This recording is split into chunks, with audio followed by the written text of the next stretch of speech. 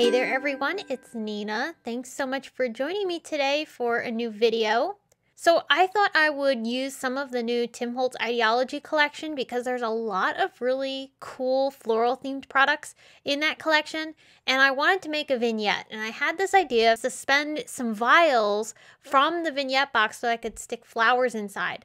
So right now, flowers are just starting to bloom in my neck of the woods. So I don't have any fresh flowers for this box, which is what I was really hoping to put in here. But as things warm up and more flowers start to come around, I am going to be putting a real flower in these vials. So for now, I did put a few fake ones in, but you could do whatever you want. Why don't I jump on into the project and we'll get started. So I have one of the new square vignette boxes and I'm going to go ahead and start first by spraying the box in different sections because I want to create some darker areas of the box and I want some areas to be lighter than others. So I'm taking Distress Spray Stain in Walnut Stain and also Speckled Egg just to add a little bit of a greenish tint, a little bit of a blue-green tint to the brown. And I'm just going to spray some color in some different sections. That'll dry, it'll add some nice warmth and darkness to those areas as you can see here now that it's dried. We're going to work on next by adding some rub-ons to the outside of the box. So I have these rub-ons, these are super colorful and I have them linked below in the video description. These are from Prima. We're going to use these to decorate the outside of the box by rubbing these on in different pieces.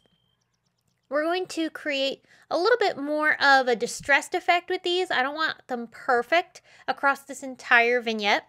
So what I'm doing is I'm taking the popsicle stick that comes with the rub-ons and I'm starting to rub certain sections of these rub-ons onto the project, but not the entire piece. So we're getting this really nice distressed and worn effect here.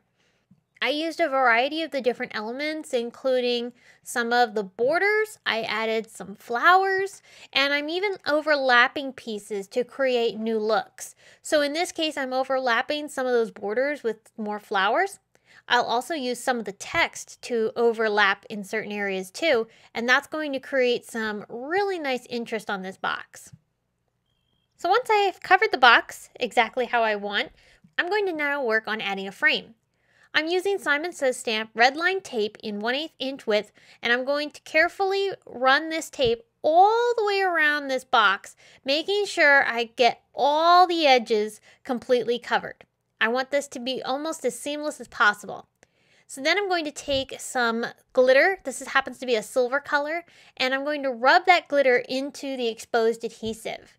So what I'm doing is I'm creating a glittery frame on this vignette and that's going to give me some really nice sparkle around the edges. And I thought that would really match nicely with the bright colors and create a fun pop of sparkle.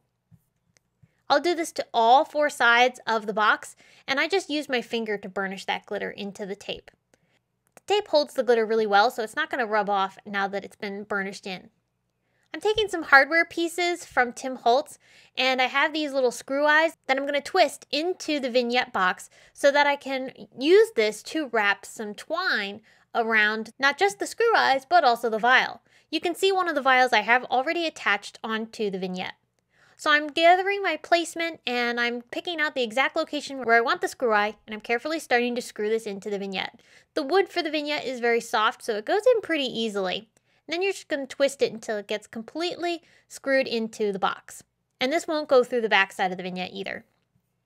Once I have one of the screw eyes in, I'm going to bring my vial back into place and figure out where I want the second one.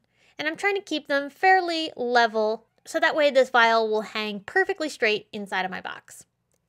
Once I have the second placement figured out, then I screwed that one in and we're ready to add some twine through those screw eyes so that we can hold the vial in place.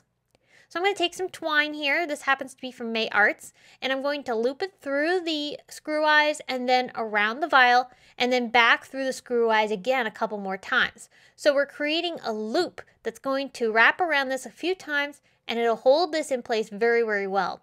We'll tie this into a nice bow like we did on the right hand side so that way everything looks super cute and it has a nice shabby chic finish. Perfect for spring and florals. All right, now we're gonna set that aside. I'm gonna do some die cutting. I pulled out some letter dies that I had in my stash. I don't think these are available anymore, but any letter dies will work for this project. You want something that you can use to cut out a nice word.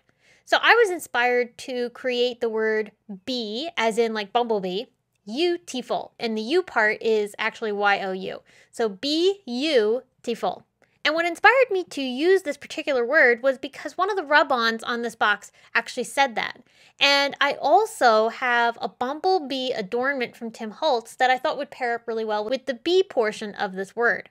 So I'm going to die cut these letters from some pattern paper that I had in my stash, and I'm just going to arrange them on top of my vignette in the area off to the side of the vials. I also staggered these so that way they had a fun little look. And I think these are really, really cute and a great way to not only add some bright pops of color, but also have a really nice uplifting message. So now that bumblebee, here he is. I have him all ready to go. I want to color him with some foundry wax. This happens to be silver. Now, I'm going to have a bit of a craft fail here. I apparently had an air bubble in my foundry wax, so I ended up squeezing out a whole bunch more than I actually needed, and I also got it everywhere. But that's okay. I'm going to clean that up, and I'm going to work on coloring my bumblebee. Now I have a lot more foundry wax here than I need and I'll just have to clean this up and throw it away because I can't save it. However, if you are doing this yourself, you really just need a small drop. And I'm using a paintbrush to apply that foundry wax. Then I'll place the bumblebee that's covered in the foundry wax on top of a Simon Says Stamp Positively Everything tool and heat that up. So that way we get that foundry wax completely set and we have that beautiful gilded finish. I'm pulling out some transparency butterflies from Tim Holtz and I'm going to fold them in half so that they have a bit more lift. They look dimensional. And I'm going to glue three of them onto my project. I'm also picking out some of these cards that Tim Holtz has in his newest Idea-ology collection. They have lots of different patterns and floral themed elements on them. And I'm going to use a couple of the different blue patterns and also some of the numerics. I'm using collage medium to attach these down onto my project. I'm figuring out exactly where I want them and then placing them in. I also tried to overlap them across the different edges. So like this piece here, I folded it down onto the next side of the box. Once I had it placed, then I brought in more collage medium and covered over the entire piece. That way it sealed it in to lo its location. I'm layering up some of those pieces, like this one here, which is a blue piece. I'm going to layer that up over top of the one I just put down so that you can see both peeking through. I'm going to do that on all four of the inside edges of the box. Okay, so now we're ready to go ahead and glue on some of our elements. So I have our little bumblebee here, and I'm going to add some hot glue to the back side of him. We'll place him up on the sentiment to really tie in that B element of the word.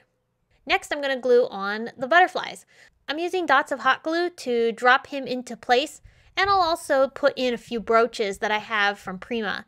These are really pretty and have a nice sparkle to them, so they go really well with the sparkles on our frame. So I think that looks really nice and ties those things together too. Next, for the inside bottom portion of our vignette, I'm going to glue in a variety of colored buttons that I pulled out of my button collection and some of these really pretty fairy droplet glass balls from Tim Holtz. They're super beautiful and I really love the dimension and texture that this provides down along the bottom. And it adds to that shabby chic look that I'm going for here. I feel like this is like a collection of beautiful baubles that are in somebody's jewelry drawer. So that ties in really well with the brooches that I add on the outside edges of our vignette. All right, so like I said, I don't have any real flowers right now, but I pulled out some of these paper flowers that I had in my stash. And so I'm going to stick these into the vials for now. They look really cute and it's a fun way to be able to display some cute flowers. You could put real ones in here, of course, but I think this is just an adorable project and a really fun way to make something beautiful, springy, and colorful for this new season that we're in. So I hope this was a great idea in showing you some of the ways you can use some of these new Idea-ology products. If you're interested in anything that I used today, I have them all linked below in the video description for you to check out. Thanks so much for tuning in today. I will be back soon with more to share with you all. But until next time, I hope you have a fabulous day. Bye!